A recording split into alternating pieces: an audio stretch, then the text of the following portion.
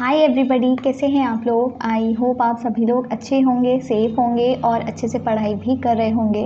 This is Ruchika and welcome to my channel so आज हम discuss करने वाले हैं क्लास ट्वेल्थ पीएसटी का सिलेबस फॉर सेशन 23 24 और सिलेबस जानना ऑब्वियसली बहुत इंपॉर्टेंट है, जिससे आपको पता चले कि पूरे साल आपको पढ़ना क्या है। तो डिटेल में हम पूरा डिस्कस करेंगे सिलेबस क्या क्या यूनिट्स हैं क्या क्या उसके अंदर चैप्टर्स हैं टॉपिक्स हैं।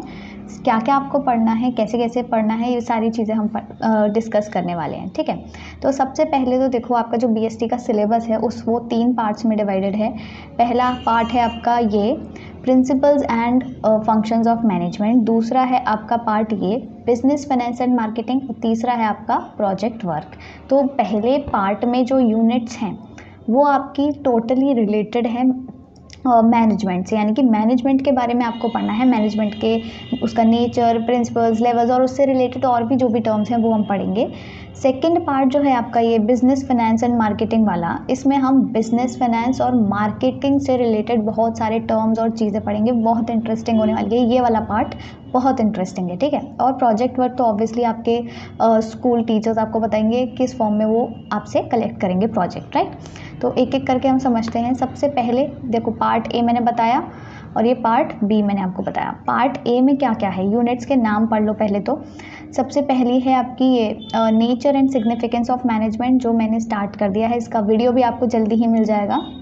तो इसमें मैंने फ़र्स्ट टॉपिक स्टार्ट कर दिया है। पहला हो गया nature and significance of management फिर है principles of management business environment planning organising staffing directing and controlling ये जो पाँच यूनिट्स हैं, ये पाँच क्या हैं? ये पाँच मैनेजमेंट प्रोसेस के स्टेप्स हैं। तो मैंने क्या बताया? पार्ट ए में पूरा मैनेजमेंट पढ़ना है। तो मैनेजमेंट से रिलेटेड जितनी चीज़ें होंगी सब पढ़ेंगे।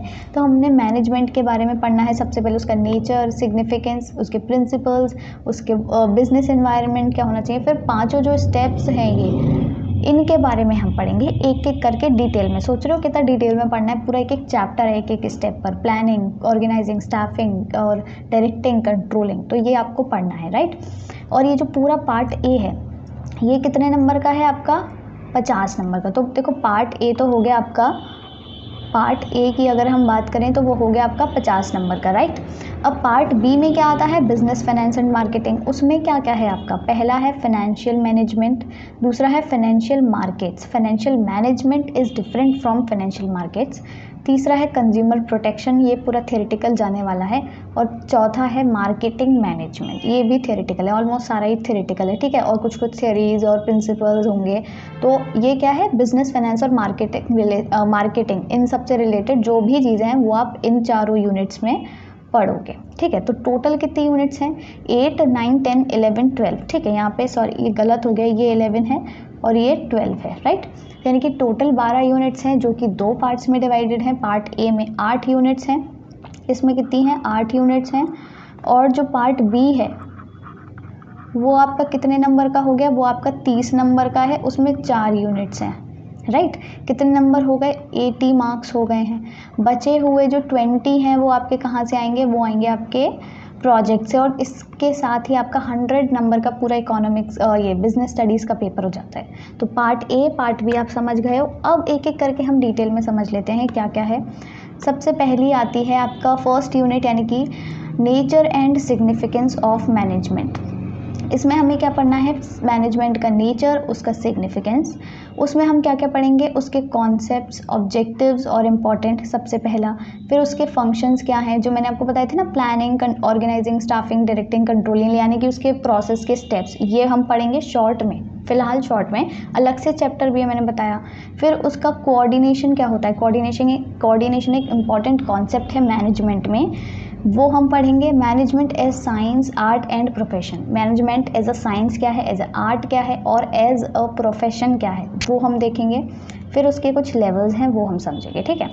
फिर आती है आपकी दूसरी यूनिट जो कि है प्रिंसिपल्स ऑफ़ मैनेजमेंट पहले में नेचर और सिग्निफिकेंस दूसरी में प्रिंसिपल्स इसमें हमको अलग अलग जो कह सकते हो आप इकोनॉमिस्ट रहे हैं एनालिस्टिक एनालिस्ट रहे हैं, उनसे, उन्होंने जो आपके प्रिंसिपल्स बताए हैं, वो हम समझेंगे। पहला कौन सा है? टेलर्स साइंटिफिक मैनेजमेंट टेलर ने कुछ आपके प्रिंसिपल्स दिए हैं टेक्निक्स दिए हैं।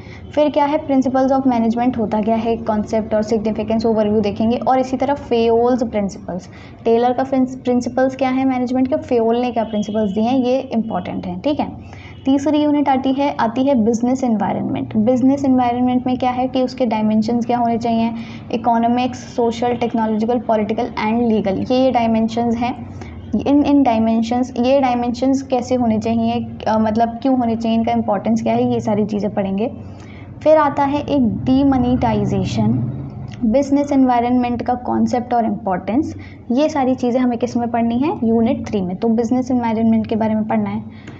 फिर अब इसके बाद आता है आपका यूनिट फोर जो कि है प्लानिंग यहाँ से स्टार्ट हो जाते हैं स्टेप्स यानी कि मैनेजमेंट के जो प्रोसेस के स्टेप्स है। पहला है प्लानिंग प्लानिंग के बारे में जितनी सारी चीज़ें हैं, वो आपने पढ़नी है। उसके प्रोसेस उसकी importance limitation concept objective strategy everything फिर आता है ऑर्गेनाइजिंग सेकेंड स्टेप उसका भी वही सेम सब में वही पढ़ना है। उसका कॉन्सेप्ट इंपॉर्टेंस उसका प्रोसेस उसके आ, क्या कहते हैं फ़ंक्शंस एलिमेंट्स इंपॉर्टेंस ये सारी चीज़ें पढ़नी है। फिर आता है तीसरा स्टेप स्टाफिंग स्टाफिंग में मतलब हम कैसे कैसे एम्प्लॉयज़ को रिक्रूट करेंगे? सिलेक्शन का प्रोसेस क्या होता है? दो प्रोसेस है सिलेक्शन और रिक्रूटमेंट उसका इंपॉर्टेंस क्या है? और ह्यूमन रिसोर्स मैनेजमेंट क्या है? मेथड्स ऑफ़ ट्रेनिंग किस ट्रेनिंग वगैरह करवाना स्टाफ को तो बहुत सारी चीज़ें हैं, ये सब पढ़ेंगे। फिर आता है आपका डायरेक्टिंग चौथा स्टेप चौथा स्टेप आपका क्या है? डायरेक्टिंग अब डायरेक्टिंग में क्या है कि कैसे जो मैनेजमेंट जो इंसान करते हैं ना मैनेजर्स जो होते हैं, वो कैसे डायरेक्ट करते हैं अपने एम्प्लॉयज़ को स्टाफ को। तो उसमें formal informal communication barriers to effective communication motivation और एक इंपॉर्टेंट मतलब थ्योरी है Maslow's hierarchy of needs Maslow की नीड की थ्योरी है, वो बहुत इंपॉर्टेंट है। Financial and non financial incentives क्या होते हैं?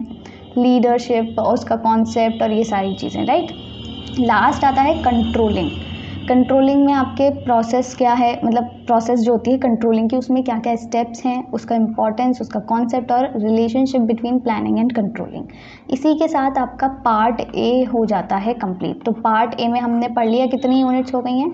आठ यूनिट्स हो गई हैं। ठीक है, ख़त्म। अब इसी के बाद आपका आता है नेक्स्ट यानी कि नाइन्थ यूनिट जहाँ से आपका शुरू हो जाता है पार्ट बी ठीक है पार्ट बी था ना बिज़नेस फाइनेंस एंड मार्केटिंग तो ये इसमें पहली यूनिट है, यानी कि टोटल देखें तो नाइन्थ यूनिट है फाइनेंशियल मैनेजमेंट जिसमें कि आप फाइनेंशियल मैनेजमेंट के बारे में उसका कॉन्सेप्ट उसका रोल उसके ऑब्जेक्टिव्स पढ़ोगे राइट फिर फिक्स्ड एंड वर्किंग कैपिटल क्या होता है फाइनेंशियल डिसीजंस क्या होते हैं फाइनेंशियल प्लानिंग क्या होती है? कैपिटल स्ट्रक्चर मतलब फाइनेंस से रिलेटेड ऑलमोस्ट सारी चीज़ें। फाइनेंशियल मैनेजमेंट कैसे करना है? ठीक है, वो। अब आता है फाइनेंशियल मार्केट ये मोस्ट इंपॉर्टेंट है। और साथ ही साथ मोस्ट इंटरेस्टिंग भी मैं बोलूँगी। फाइनेंशियल मार्केट का कॉन्सेप्ट क्या है? और फाइनेंशियल मार्केट का जो हमारा रेगुलेटर है इंडिया में, यानी कि SEBI securities and exchange board of India उसके बारे में पढ़ेंगे, उसके ऑब्जेक्टिव्स उसके फ़ंक्शंस उसकी छोटी मोटी हिस्ट्री की कब इस्टेब्लिश हुआ, कब नहीं हुआ। मनी मार्केट क्या होता है? कैपिटल मार्केट क्या होता है? स्टॉक एक्सचेंज ये सारी चीज़ें। ट्रेडिंग वगैरह ट्रेडिंग का प्रोसीजर क्या होता है? शेयर्स वगैरह में डिबेंचर्स में ट्रेड करते हैं ना, ये सारी चीज़ें। हम फाइनेंशियल मार्केट में पढ़ेंगे। फिर आता है लास्ट आपका इलेवेंथ यूनिट लास्ट तो नहीं सेकेंड लास्ट इसमें हमें मार्केटिंग के बारे में पढ़ना है। जो भी फर्म्स होती हैं, वो मार्केटिंग भी करती हैं ऑब्वियसली तो मार्केटिंग का क्या कॉन्सेप्ट है? उसके फ़ंक्शंस फिलोसफीज़ क्या हैं? उसके एलिमेंट्स क्या हैं? फिर आता है प्रमोशन प्रमोशन जो होता है product branding labelling packaging price concept factors determining price price को कैसे डिटर्मिन करते हैं? कौन कौन से फैक्टर्स होते हैं? फ़िज़िकल डिस्ट्रीब्यूशन क्या होता है? उसके concept components and channels of distribution ये होता है हमारा मार्केटिंग का प्रोसेस उसके बाद आता है लास्ट आपका कंज्यूमर प्रोटेक्शन अब कोई भी फर्म जब डील करती है अपने कंज्यूमर से तो उसको ध्यान रखना पड़ता है अपने कंज्यूमर की प्रोटेक्शन का भी राइट ऐसे ही नहीं है कि कुछ भी सामान बना दिया क्या कर दिया? उसके लिए क्योंकि उसके अगेंस्ट बहुत सारे एक्ट्स हैं। तो ये सारी चीज़ें हमें इसमें पढ़नी है, जैसे कि आपका हो सकता है कॉन्सेप्ट एंड इम्पॉर्टेंस पहले तो कंज्यूमर प्रोटेक्शन एक्ट की इम्पॉर्टेंस क्या है? फिर वो एक्ट क्या है? टू टू थाउज़ेंड नाइनटीन में आया था। Meaning of consumer rights and responsibilities of consumers can who can file a complaint कौन कौन कंप्लेंट फ़ाइल कर सकता है? रिड्रेसल मशीनरी रेमेडीज़ अवेलेबल कैसे कैसे सोल्यूशन uh, मिलता है कंज्यूमर्स को अपनी प्रॉब्लम्स का? जो भी वो शिकायतें दर्ज करते हैं उसका you you know know, uh, वो कैसे मिलता है उनको? जस्टिस कैसे मिलता है? ये सारी चीज़ें हमें पढ़नी है और इसी के साथ आपका पार्ट बी कंप्लीट हो जाता है। ठीक है? तो पार्ट ए में हमने क्या पढ़ा? अभी हम दोबारा से देख लेते हैं। यहाँ से पार्ट ए में क्या था? पार्ट ए में था आपका ये आठ यूनिट्स थी, ठीक है? पार्ट बी में आपकी, पार्ट बी में आपकी ये चार यूनिट्स थी। तो पार्ट ए और पार्ट बी दोनों को मिला के आपकी ट्वेल्व यूनिट्स हैं, जो कि कितने मार्क्स की हैं? एट्टी पार्ट ए में फिफ्टी मार्क्स का है, पार्ट बी थर्टी मार्क्स का है और प्रोजेक्ट आपका ट्वेंटी मार्क्स का है। टोटल करेंगे हंड्रेड आ जाता है और इसी के साथ आपका ये सिलेबस का डिस्कशन भी ख़त्म होता है। तो अगर आपको वीडियो इन्फॉर्मेटिव लगा हो तो do give it a like and yes do not forget to subscribe to my channel thank you